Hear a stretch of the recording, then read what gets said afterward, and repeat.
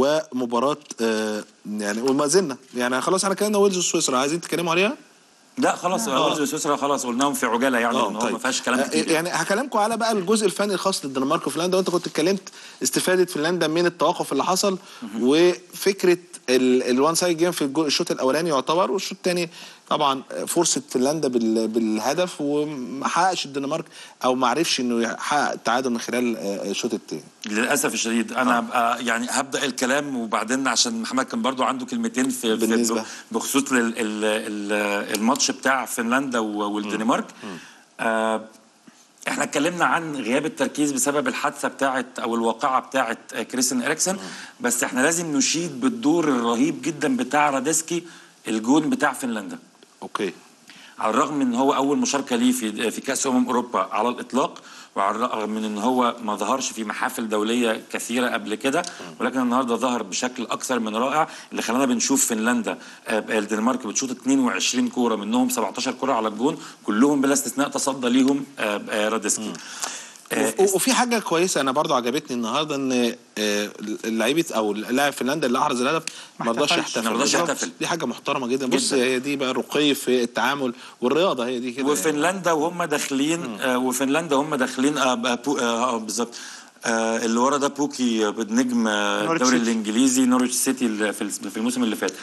آه لاعيبه فنلندا حتى والدنمارك داخلين وقفوا صفين وسقفوا لهم على القرار الشجاع إن هم يستأنفوا المباراة.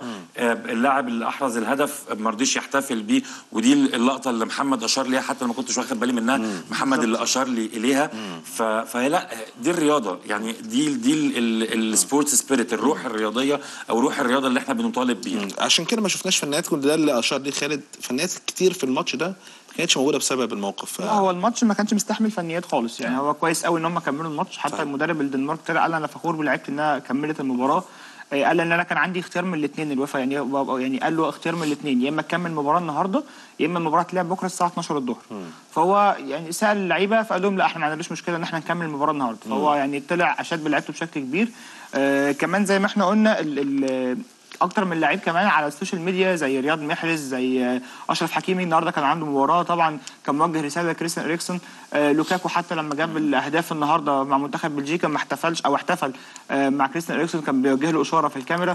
رياض محرز أكتر من لعيب كمان حتى كريستيانو رونالدو الدوري الإنجليزي ال- ال- ال account الرسمي للدوري الانجليزي كمان ابتدى إن هو يتكلم على آه، إريكسون ويطلب الدعم ليه فأعتقد إنها لفتة طيبة بتبين إن فعلا الرياضة أخلاق كل ده قدامنا كريستيانو أمامنا تويتايه خاصة بكريستيانو بالظبط. طبعا بالظبط. ودعمه طبعا وطبعا. في أندية كتير برضو عمل الاتحاد الإنجليزي والاتحاد الأوروبي الاتحاد الأوروبي قدموا دعم و- وتوتنهام وإنتر ويكفي ميلان اختياره رجل المباراة النهارده من الاتحاد الأوروبي بالظبط بالظبط. المنظمة هو خرج في الدقيقة نعم. 43 بس آه، لقطه لقطة كويسة طبعا يعني. طبعا ما دي دي روح الرياضة اللي إحنا بنتكلم عليها دايما طيب آه، خليني أخدك للماتش بقى. خليني خليني معاك يا محمد وماتش بلجيكا